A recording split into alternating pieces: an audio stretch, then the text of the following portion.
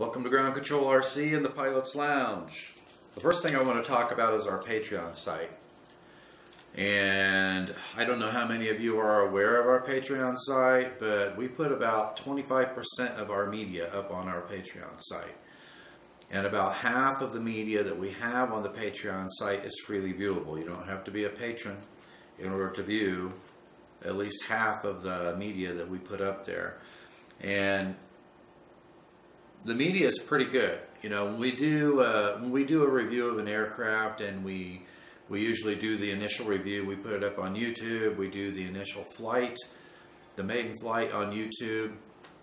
But uh, the maiden flight is usually not the most interesting of flights. You know, the maiden flight is where we're we're just checking the aircraft out, making sure there's nothing, you know, amiss with it, that everything functions correctly. We're not doing anything dramatic with it on the maiden flight. We just want to make sure we can get it in the air, that it flies the way it's supposed to, and, and make a successful landing with it. So the second uh, flight is normally put up on our Patreon site, and it's normally freely viewable. And the second flight is usually a more interesting flight than the maiden. So if you guys haven't checked out our Patreon site, you ought to check it out like I said, half the media is really viewable. We've been doing a lot of dust off flights lately. I've got a lot of aircraft that are just collecting dust that I haven't flown in a long time. And so we've started pulling those out, taking them out and flying them, and those are our dust off flights. So we're also going to be doing some dust off flights this month of the Z84, the Zeta Technology wing. It's a pretty nice wing, pretty fast, very acrobatic the Volantex uh, Super Cub. We're going to take it out, and this is going to be our first test flight with the Volantex Super Cub since we have the issue with the with the elevator retaining clip. The re there's a plastic retaining clip that holds both sides of the control surfaces for the elevator together, and that delaminated on the last time I took it out to fly. So um, this will be the first test flight after that repair, and we pulled out our little MAC-free F-22 Nano smart plane and we did a compilation of flights with that and so we're going to be posting that shortly as well. I know there's a lot of interest in that little tiny plane. Uh, we've received a Racer Star 1306 4000 kV motor. We're going to be testing it and we're going to compare it side by side with the Racer Star 1306 3100 kV motor, which you know if, if you've watched our um, motor upgrade tutorial and our flights with the XKA 430 stunt plane. We used the Racer Star 1306 3100 kV motor in that in that um, in that upgrade motor and prop, and and that turned out to be a, an extremely good upgrade. So hopefully we'll get a, more, a little more thrust with as high efficiency out of the Racer Star 4000 kV motor as we did the 3100. And also, we also use the Racer Star 3100 kV 1306 motor in our brushless conversion on our WL Toys F949 Cessna 182. I just, those 1306 motors are great. Um, we're going to be doing, oh, also on this, um, on this Cessna 182 brushless conversion, we, we use specific micro servos and a low voltage micro receiver for this brushless conversion. And you should, we already have a video out um, demonstrating the, uh, the low voltage micro receiver, but I want to talk a little bit about these micro servos, these low voltage micro servos, and the types of connectors that they come with, because that is very important information, and you'll find out why. So keep an eye out for that. The Volantex Mini Train Star. All right, let me pull that up here. There's the Volantex Mini Train Star. I think this is the best trainer plane I've found yet. I think that the, the WL Toy Cessna 182 is close second.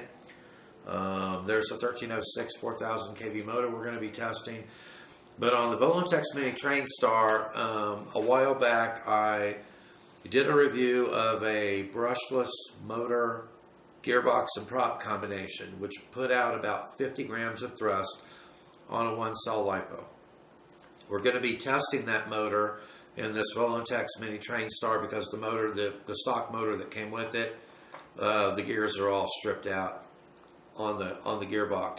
So I'm going to re- be replacing the stock motor with that, and hopefully that'll be a bit of an upgrade. But um, I believe that is a 8 millimeter by 20 millimeter motor, an 820 motor. Uh, I got the prop balanced; it runs very smoothly. So we're going to be we're going to be installing this motor in the Volantex Mini Train Star.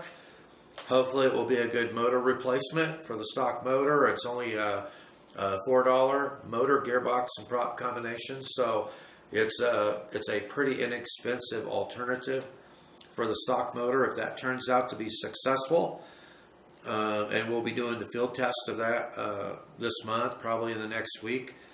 If that turns out to be a successful motor replacement or upgrade, then we will provide a tutorial on doing that. So look for that. And then if you've noticed, we have the we have the Flybear FX820 SU35 micro two channel brushed motor uh, micro park jet. And we've done some test flights with this plane. We did a review on it. We've done some test flights.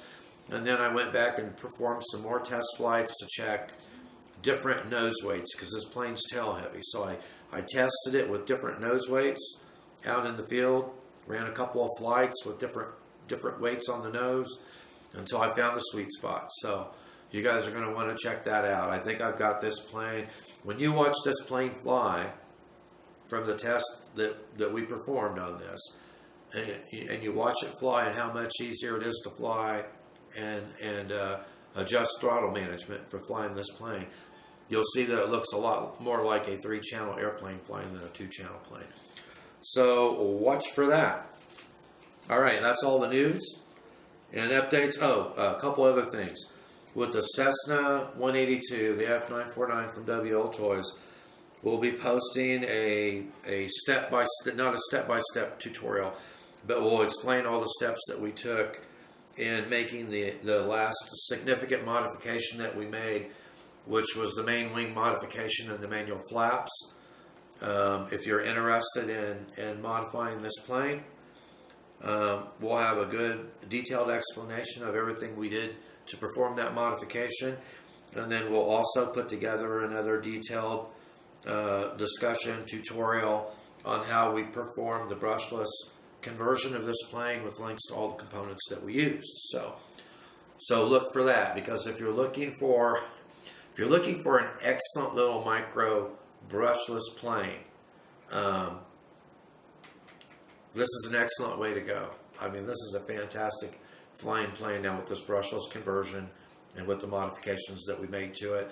And I think this plane, the way this plane performs, um, performing the brushless conversion and the modifications that we made to it, I don't think that you could buy a plane with these modifications for, for what it costs us to do it ourselves. So, so there you go. Uh, please give a thumbs up. Don't forget to subscribe. Don't forget to check out the Patreon site and take a look at all the media that we have on there that's freely viewable. Um, if you if you like our channel and you would like to support us, please become a patron. And uh, I will see you in the air.